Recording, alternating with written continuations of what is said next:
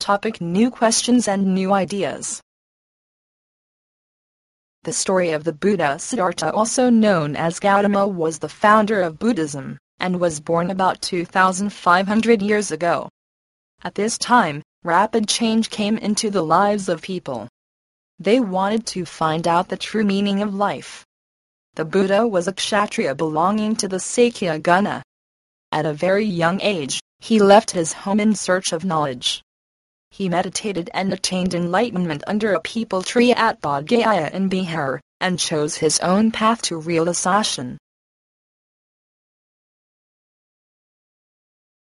Picture of Buddha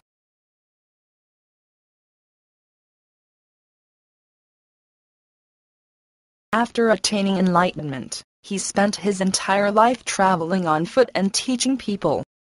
He passed away at Kusinara, the Buddha taught that life is full of suffering and unhappiness, because we have thirsts and desires, which can't be fulfilled. If we get what we want, we are not satisfied and want even more. He also thought people should be kind and respect the lives of others, including animals. He believed that the results of our good or bad actions known as karma, affect us in this life and in the next life. Upanishads Upanishads means approaching and sitting near. Are the part of the later Vedic texts which consists of many ideas and answers related to life after death, why sacrifices should be performed, and something remains permanent in the universe even after death. Upanishad thinkers especially Brahmins and Rajas described this as the individual soul Atman and the universal soul Brahman.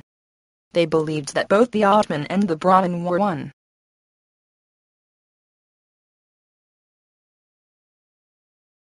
Panini Panini was one of the most famous grammarians, who prepared a grammar for Sanskrit.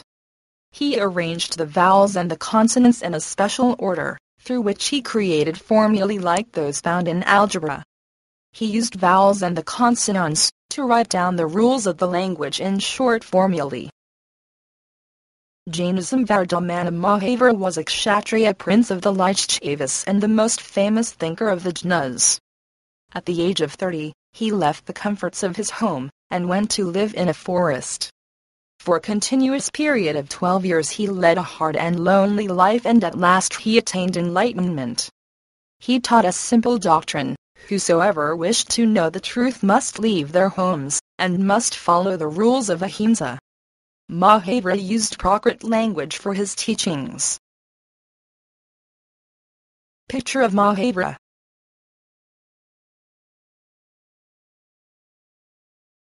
followers of Mahavira known as Jainas, had to be absolutely honest and to observe celibacy, lead very simple lives and beg for food. It was very difficult for most men and women to follow the rules, because the rule says that the men had to give up everything, including their clothes. Jainism was mainly supported by traders. Farmers had difficulty in following the rules, because they had to kill insects to protect their crops. The teachings of Mahavira and his followers were written down and kept safe at a place called Vallabhi in Gujarat. The Sangha The Sangha was an association of those who left their homes in search of true knowledge. It was started by the Mahavira and the Buddha. Buddhist Sangha rules were written down in a book called the Vinaya Pitaka. Rules say that there were separate branches for men and women. Children had to have the permission of their parents slaves from their masters, debtors from their creditors and women had to have their husbands permission to join Sangha.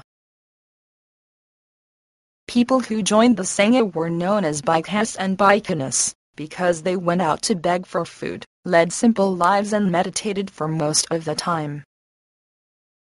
Monasteries The Jaina and Buddhist monks and nuns traveled from place to place to teach people. Their supporters built temporary shelters for them to stay, or they lived in natural caves in hilly areas during the rainy season. As time passed away, monks, nuns and their supporters felt the need for permanent shelters and so monasteries were built. These were known as viharas. Nowadays, viharas are made of brick, but in earlier days they were made of wood.